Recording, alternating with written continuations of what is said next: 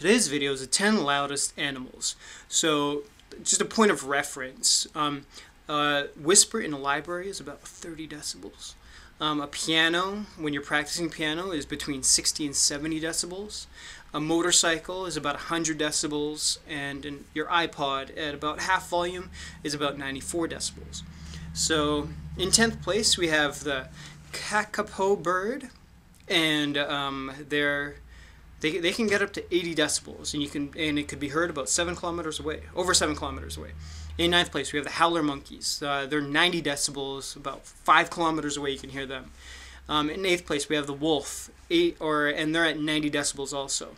In seventh place so we have the coqui frog and they're 100 decibels a little tiny chirp that they do in sixth place, we have the water boatman. It's a really tiny insect, and what is it? What it does is it rubs its uh, man part against its stomach, and that creates about 99, 100 decibels.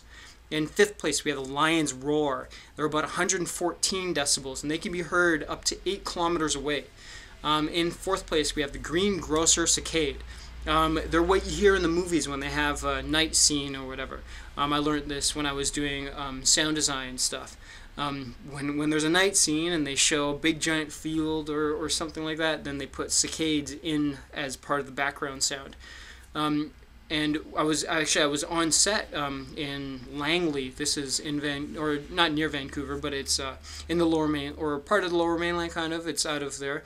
It's um, we were on a film um, yeah, some big Hollywood film. Anyways, um, and we were in the field at night and we could hear tons of cicadas, and I never realized like how real that was when you hear it in the movies. Anyways, they can get up to 120 decibels and be heard two and a half kilometers away.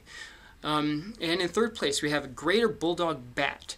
And what bats do is they use um, sound to help guide them because they use sonar as part of their navigation. And they can get up to 140 decibels. And in second place, we have a blue whale, one of the biggest um, animals in the ocean, and their sirens can get up to 188 decibels. And in first place, um, it's called the tiger pistol shrimp, and their the, the sound that they make is over 200 decibels, and and that's in the water in the ocean. And I guess pistol tiger pistol is uh, because it can get that loud. Um, anyways, uh, thanks for watching. You can watch yesterday's video here. Um, Oh, I totally forgot what it was. Ah, oh, dang. Um, and tomorrow's video is going to be here. Thanks for watching. Uh, hit click or click like, click subscribe, um, all that kind of stuff. But yeah, thanks for watching. See you guys tomorrow.